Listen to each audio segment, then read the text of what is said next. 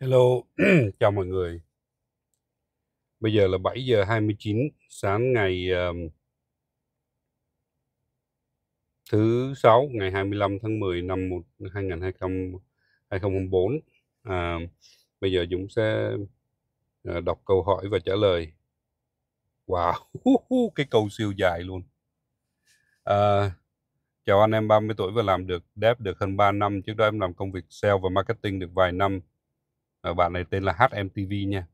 Sau đó mới chuyển hướng sang làm coder vì công vì mê công nghệ và lúc đó thần tượng các bạn lập trình ngồi gõ gõ. Gì đó bí ẩn nên em quyết định tự học lập trình và sau đó đổi nghề. Làm lại từng bước từ đầu cũng may mắn là có công ty nhận vào làm dù mới mới biết được chút kiến thức lập trình ít ỏi. Và sau một thời gian uh, làm việc uh, làm dev ngắn ngủi trên em hiện tại em cảm thấy chán việc coding kỹ năng chuyên môn của em ở mức trung bình không có gì nổi trội. Và sau nhiều lần tự hỏi bản thân thì thấy không phù hợp cho sự việc làm dev thêm nữa. À, như vậy thì khó phát triển sự nghiệp nếu tiếp tục như vậy nhưng bản thân em vẫn yêu thích và làm việc trong mạng công nghệ và những gì liên quan đến công nghệ. Muốn biết những điều mới lạ à, về các kỹ năng giao tiếp em vẫn có và cũng chịu khó lắng nghe người khác và biết hài hòa uh, mọi người với nhau trong công việc chứ không cứng nhắc như đa phần các bạn dev thuần túy em bây giờ không biết ngoài việc làm dev như hiện tại em nên đi theo lối rẽ nào khác trong ngành IT này không ạ? Hay là bỏ hẳn về luôn các ngành khác? Em cũng có nghe qua nhiều video anh chia sẻ về các vị trí như tester, ờ, uh, BA, PO, uh, ờ, vân vân. Trong lời thời gian uh, làm dev cũng tiếp xúc rất nhiều với các bạn ở vị trí trên. Ờ, nhưng em không cảm thấy hứng thú với các công việc đó. Đây mới là vấn đề đó. À, mong anh cho em lời khuyên. À, chúc anh cảm ơn anh và chúc anh nhiều sức khỏe.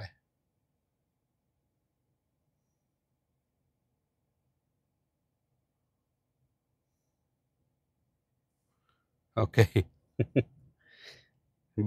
Tester này, BAPO là không hứng thú. Làm đẹp không có hứng thú. Không biết làm pro, project manager có hứng thú không? Rồi, ừ, để đọc tiếp câu khác nữa nha. Bạn Tuấn Hưng đáp, à, giới thiệu cuốn sách hay, nhờ anh giới thiệu cuốn sách hay về .NET, cuốn sách kỹ năng lập trình, à, mình có xem một cái ở trên lê, lê hoàn dũng blog à, bạn lên đó coi ha. À, làm en, software engineer với web khác nhau, với web khác nhau gì ạ? À? Học những gì để trở thành software engineer về chú? À, cái này à, bạn coi lại cái clip uh, về uh, uh, software engineering và và, và software developer ha à, trong đó mình giải thích rất rõ software engineer là cái gì um, anh có thể chia sẻ sẽ thêm bàn kiệt tắt là quy trình làm proposal để đấu thầu dự án không ạ? À? Ở bên mấy công ty outsource bây giờ các anh chị gọi là BDEV, Business Development. Họ sẽ thực hiện buổi thuyết trình để lấy dự án về cho công ty. Em chỉ đang là junior nên chưa có nhiều kinh nghiệm về mấy vấn đề này. Mong anh uh, chia sẻ thêm về lộ trình và cách học làm sao để thực hiện các công việc như vậy. Chúc anh uh, cảm ơn anh và ngày một ngày tốt lành. Ok, mình uh, sẽ dừng cái câu hỏi như uh, ngang ở đây và mình sẽ hỏi uh, sẽ trả lời hai câu hỏi đó ha. Uh, thực chất mà nói thì uh, cái chuyện mà bạn uh, làm coder nhưng mà bạn không có thích code nhưng mà bạn vẫn thích ở lại trong ngành mà bạn lại không thích làm uh, tester, bạn không thích làm uh, uh, quality assurance bạn cũng không có thích làm ờ, product owner. Uh, mà bạn thấy thì bạn làm việc thì hài hòa với mọi người uh, chứ không cứng nhắc giống như các dev khác. Có nghĩa là bạn vẫn đâu đó muốn vẫn, làm việc ở trong developer uh, development team. Thì uh, nếu mà muốn làm việc trong development team á, thì bạn cần phải cố gắng thêm một chút không? Leo lên được senior sau đó sau đó chuyển dần qua cái ngạch làm team lead à, và và và làm scrum master à, có thể học để làm scrum master agile master à, hoặc là làm à, uh, gì đó pm đó thì à, lúc đó bạn có thể ở lại với ngành hoặc là bạn có thể đi theo cái hướng là làm về à, uh, QMM uh, quality uh, uh, assurance. Quality assurance thì nó không phải là tester mà nó là theo theo dạng là là gì đó có về handle về về cái câu chuyện là làm sao để cho tổ chức nó đi theo đúng process đúng chuẩn mực ờ, của công ty. Đó hoặc là bạn ờ, có thể đi theo theo hướng làm technical sale. À, tức là bạn uh, học về cái sản phẩm à, sau đó bạn đi bán sản phẩm với với với với, với khách hàng. À, thì bạn sẽ không có làm việc về uh, developer nữa à, nhưng mà bạn cũng cần phải tìm kiếm cho nó ra cơ hội. Ờ, cơ hội đó nó nằm nhiều ở Microsoft ở nằm nhiều ở SAP và ở AWS mình thấy rất nhiều bạn uh, ngày xưa làm uh, developer uh, làm lên tới principal software engineer um, ở bên NAS uh, bây giờ làm solution architect ở bên uh, bên AWS uh, thì uh, nói chung là nói chung là vậy. Chứ mình mình thì cũng không có nghĩ rằng là mấy bạn đó uh, là solution architect theo kiểu là uh, gọi là solution architect thực chiến không? Mà là dạng là một cái ờ, technical sale people. Đó. Thì uh, bạn có thể đi theo hướng làm technical sale. Uh, bạn cũng có thể đi theo hướng làm uh, assistant cho các sếp. Ví dụ giống như là Dũng thì ờ, Dũng có một cái người làm ờ, làm assistant làm uh, uh, thư ký. Uh, và nếu mà coi như là chức Dũng to hơn nữa thì Dũng sẽ có một cái bạn làm ở vị trí là OFE ha uh, thì cái bạn đó là chuyên về tất cả các thứ về số liệu này kia Dũng. Bản thân Dũng thì trong department Dũng cũng có một cái người chuyên về tất tần tật về số liệu về coi như là uh, gì đó cái tình hình của department làm ăn như thế nào lại hay lỗ. Đó uh, cái productivity của team như thế nào đang là chín mươi mấy phần trăm. Có đạt được target chưa uh, vân vân. Thì cũng có thể đi theo hướng đó. Uh, còn nếu mà nói mà làm trong trong trong trong trong trong trong team development mà bạn ờ, muốn làm một cái vị trí nào đó mà khác các vị trí khác thì hiện tại bây giờ nó có thêm uh, các vị trí giống như là uh, gì đó uh, uh, DBA này.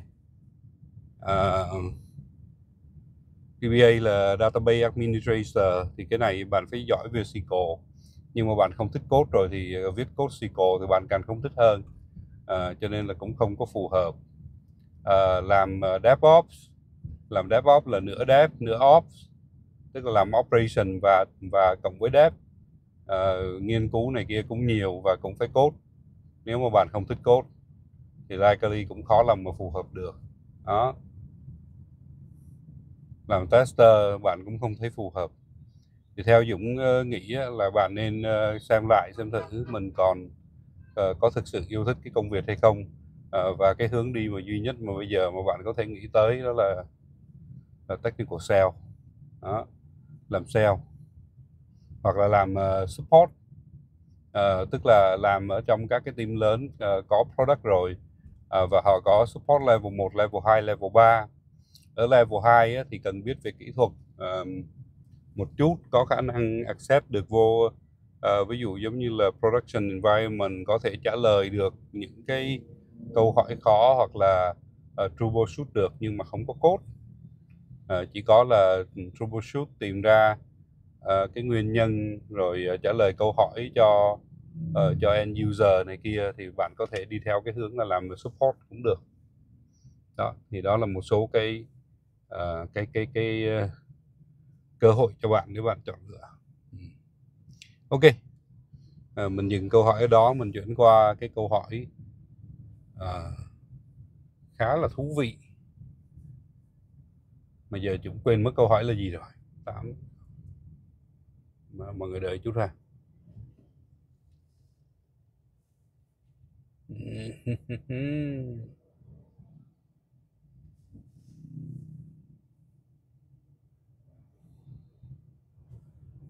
à, à, ok.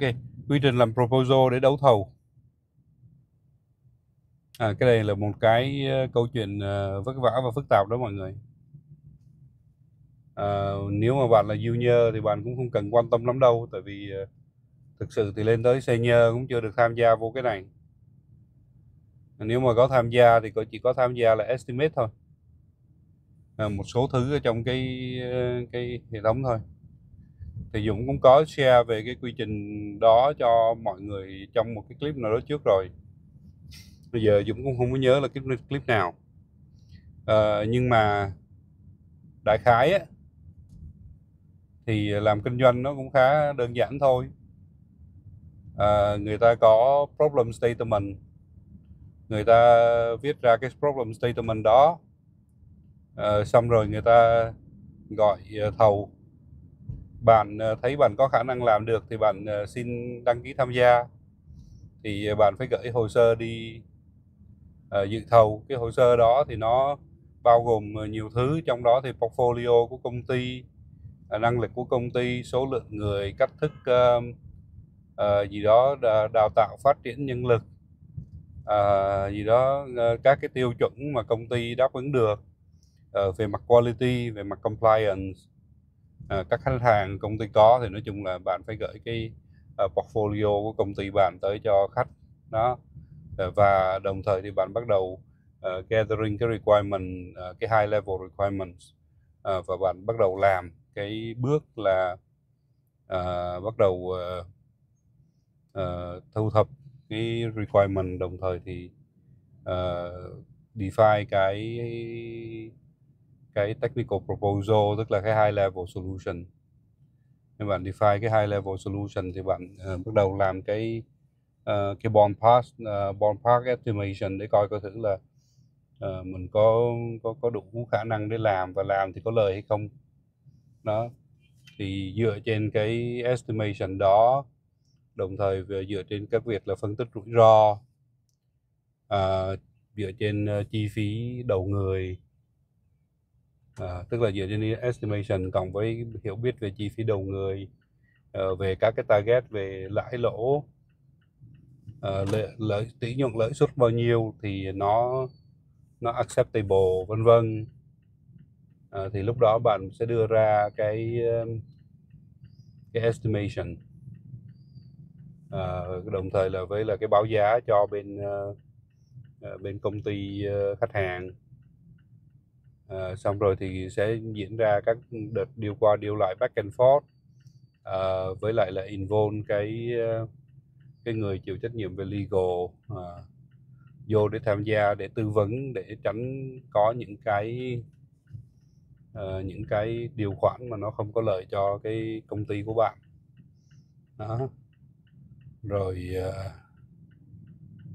bạn uh, sẽ chốt được cái điều uh, để làm.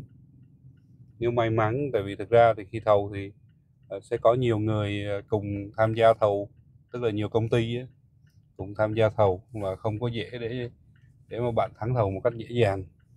À, đặc biệt là với các cái công ty mà à, có tiềm lực mạnh mẽ và có nguồn nhân lực gần như vô hạn giống như là như là Fshop thì à, muốn win được uh, mấy cái công ty kiểu đó không có dễ tại vì à, họ sẵn sàng phá giá. Uh, nếu nếu nếu nếu trong trường hợp uh, cần thiết tại vì thực ra nói họ phá giá không có đúng mà là cái giá của họ có thể rẻ hơn so với với với người khác khá là nhiều. À, nên thành ra à, nó còn nhiều chuyện nó đằng sau. Ví dụ à, bạn phải tận dụng cái sự quen biết rồi à, uh, cái network để bạn điêu bạn lấy những cái thông tin cần thiết để bạn biết rằng là ai bỏ thầu bao nhiêu. Nó giúp cho bạn có thể bỏ thầu với giá nhẹ, uh, nhẹ nhàng hơn một chút. Hoặc là bạn make cái deal mà bạn bạn biết biết giá thầu uh, của người khác và bạn ờ, hạ có có có xuống chút nhưng mà nó không có không có thấp hơn nhiều uh, và vẫn giữ được lời đúng không? At the end of the day thì nó vẫn là câu chuyện làm có lãi hay không. Uh, nên nếu mà làm mà không có lãi thì không không nên làm. Đó. Đó thì uh, coi như là bạn uh, sẽ đấu thầu. Còn cái câu trong câu chuyện mà về estimation đó, thì nó là một cái câu chuyện dài, rất nhiều thứ ở trong đó bạn phải làm. À, và làm technical solution. Thì những người mà thông thường mà làm ờ, cái công chuyện đó là các cái bạn uh, architect solution architect với lại là các cái bạn uh, chuyên về sale và delivery manager họ phải ngồi họp lại với nhau và họ sẽ tính toán cái giá dựa trên cái hiểu biết của mỗi bên. Đầu tiên là bên technical làm trước uh, sau đó thì tới project họ add thêm các cái khía cạnh về delivery uh, về quality assurance về coi như là các cái norm liên quan tới testing các kiểu. Đó. Uh, rồi họ phân tích các cái risk để mà họ có cái contingency plan. Rồi xong rồi họ sẽ gửi lên cái đội cao hơn đó là cái đội mà chuyên về sale. Thì sale thì họ sẽ consider các cái factor uh, liên quan tới lãi lỗ uh, có thể liên quan tới transfer pricing cái uh, tax holding bla bla bla xong rồi thì họ mới uh, và consider tất cả lại thêm một bước nữa các cái rủi ro ở cái tầng cao hơn. Uh, các cái chi phí cho các cái vị trí cao ví dụ giống như là các cái vị trí ở phía bên phía trên ví dụ giống như là sale engagement whatever họ phải cứ include các cái chi phí đó vô trong cái uh, cái cái cái giá thành. Xong tất cả các cái công đoạn đó thì họ mới có cái, cái final price à, cộng với cái um, cộng với cái technical proposal. Và sau đó thì họ gửi đi cho bên uh, bên khách hàng. Đương nhiên thì cái detail uh, work breakdown uh, hoặc là proposal kia thì họ sẽ không có họ sẽ không có share cho khách hàng. Tại vì nếu mà share thì khách hàng nó biết quá rõ cái chi phí uh, thì nó sẽ nó sẽ ép giá cho nên là không có share tới cái mức uh, đó share mức cao hơn nó và nếu mà win được thì làm. Thì nó nó có nhiều cách ví dụ giống như vậy. Ờ, đó là cái cách mà gọi là vất vả nhất tức là đã làm để mà uh, win một cái work package hoặc là win một cái một cái dự án làm end to end uh, ờ, nhưng mà nếu mà đi lấy dự án mà lấy theo cái kiểu là chứng minh năng lực chứng minh cái capability uh, làm một cái POC trước để chứng tỏ với khách hàng rằng là mình hoàn toàn có đủ năng lực để có thể làm. À, sau đó thì mình uh, xây dựng ra một cái ờ, uh, ODC tức là một cái uh, một cái cái cái cái team nó làm việc ở ở, ở phía Việt Nam uh, cho khách hàng uh, và và khách hàng tự quản thì cái đó nó nó dễ hơn một siêu tức là bạn không có phải đi đấu thầu. À, thì nó dễ hơn một siêu. Cái chính là bạn phải phải prove cho người ta thấy rằng là uh, cái các cái thứ liên quan tới phát triển con người uh, liên quan tới phát triển kỹ năng con người liên quan tới attrition rate uh, vân vân thì nó phải tốt nó không có thấp. Nó và uh, cái người mà đi đi uh, làm sale hoặc là đi làm technical sale hoặc đi present uh, phải làm sao cho tạo cho họ một cái ấn tượng rằng là họ sẽ không có gặp nhiều rào cản về ngôn ngữ này kia. Uh, để làm việc với mình thì nó sẽ thành công thôi. Đó.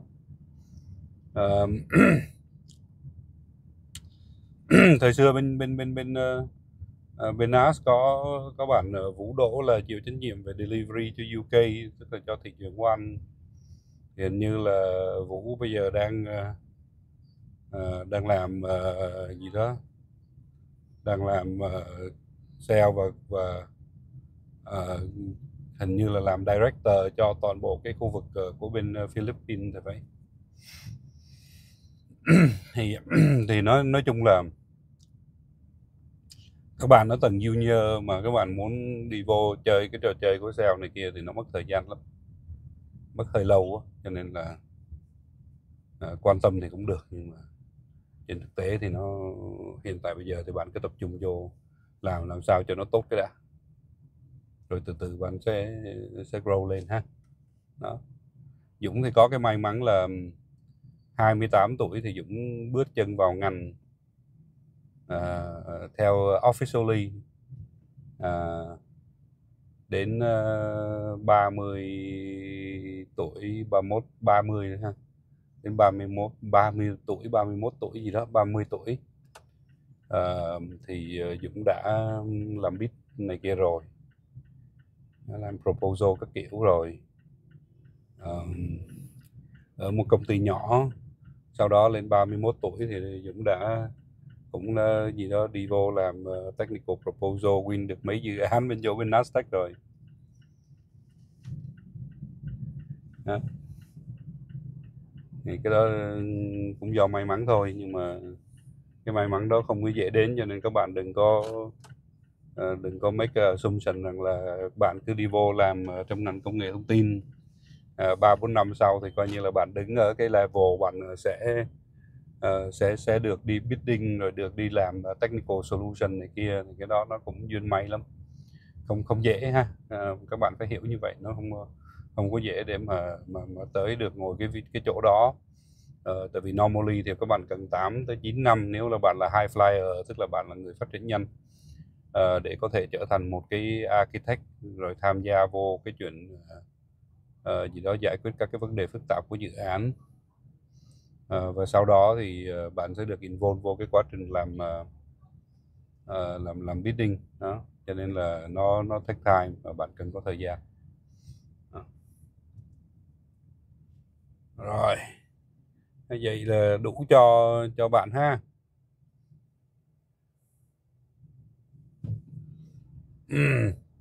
Bây giờ phải đọc thêm câu hỏi nữa thì mới à, mới hết được cái 10 phút còn lại.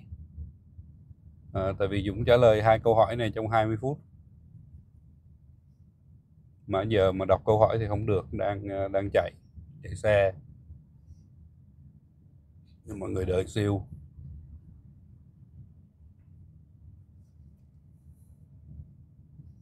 làm làm business làm gì đó làm bidding rồi Ờ, làm quản lý này kia nó cũng thú vị lắm các bạn. À, nhưng mà áp lực nó khá là cao. À, nếu mà bạn không phải là người giỏi chịu áp lực à, thì làm mấy cái vị trí này nó nó nó nó, nó stress lắm. À, tại vì một cái bạn mà technical architect á, mà khi mà cần phải làm cái solution á thì uh, làm cái technical proposal á, thì người ta yêu cầu làm trong vòng có vài ngày à hoặc là lâu hơn thì một tuần hai tuần. Và và bạn làm mà nó không có đâu vào đâu là là sẽ bị ờ, uh, xử liền. Đó. Thế sau này người ta không có dùng bàn nữa. À, cho nên là làm estimation này kia thì Dũng thì có một cái may ấy, là số lượng mà proposal Dũng làm á và số lượng win á, là hình như Dũng chỉ fail có đúng một cái. Nhắc cho cho may đó thì ờ, Dũng có làm mấy cái. Ờ, đếm trong 10 cái thôi tại vì Dũng cái thời gian mà Dũng ờ, Dũng làm architect với solution architect nó cũng không có được lâu. À, làm được cái thời gian ngắn là Dũng đã chuyển qua làm engineering manager rồi. Đó. À, còn còn hiện tại bây giờ thì uh, department của Dũng thì uh, các bạn uh, các bạn ờ, ờ, gì đó manager của Dũng làm ờ, proposal, Dũng chỉ chỉ là người đưa ra gợi ý và review thôi. Thì cũng win cũng win. Tương đối, không nói chung cái gì có Dũng tham gia thì nó cũng cũng thường nó cũng cũng ít fail. Thì cái đó là may mắn đó.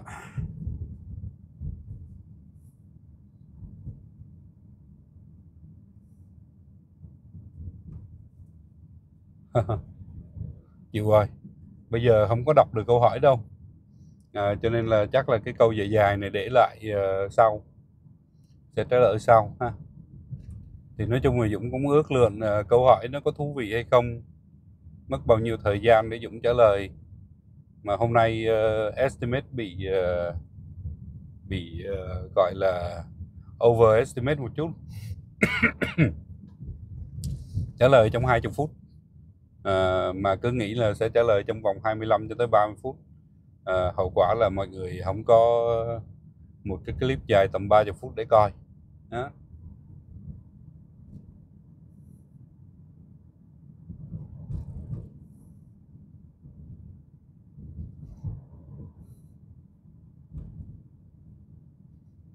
Ok. Chắc là hôm nay mình dừng cái clip ở đây nha mọi người. À, chúc mọi người ờ, một tuần làm việc mới vui vẻ. À, và hẹn gặp mọi người trong clip sau. Bye bye mọi người.